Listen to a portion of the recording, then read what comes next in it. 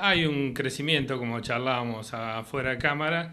Eh, nosotros creemos, por los números que tenemos, que en forma general el crecimiento es alrededor del 3% este año, con diferentes situaciones en los diferentes rubros de acuerdo a, las, a los beneficios y a los planes que han tenido cada rubro en particular. ¿no? Hablamos de un incremento de un 3% respecto de 2014. De 2014 en cantidades, ¿no? En cantidades. O sea que en, pesos eh, el aumento es, mayor, por supuesto, porque hay movimiento de precios.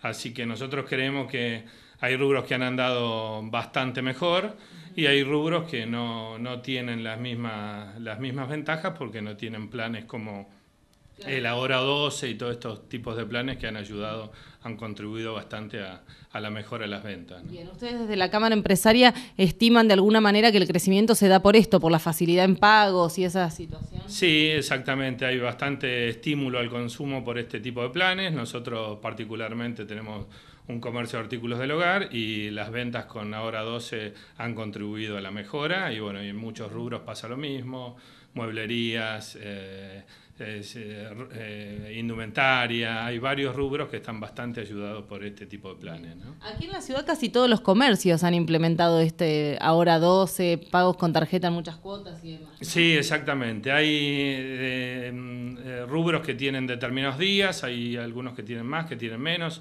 algunos durante la semana, otros fin de semana, pero mayormente el comercio en general se ha, eh, diríamos, se ha inscripto y se ha anotado en todo este tipo de promociones, pues es la manera de, de, estimular sus ventas. Y sí, hay, hay rubros que han, eh, han, aumentado más que otros, electrodomésticos es un rubro que se ha movido bien, venían del de, año pasado también con números bastante discretos, y bueno, indumentaria en general, y bueno, eh, particularmente todo lo que ha tenido beneficios, descuentos y, todo esto. ¿no? Más allá de este día puntual, Día del Padre, donde por supuesto las compras se incrementan, ¿cómo va 2015? 2015 eh, viene un poco mejor, eh, un poco mejor sobre todo en esta última parte.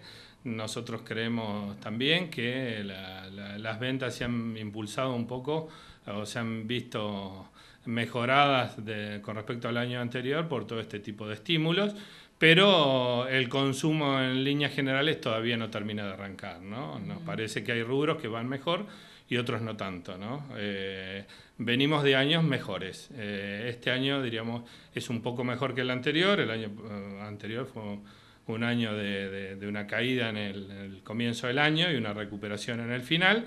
Y ahora, este año, arrancó también relativamente tranquilo, estable, y nos parece que la mejora va a empezar a venir ahora a partir de todo este tipo de planes, de las paritarias y todo lo que hace a que el, consumo se, se beneficie. ¿no?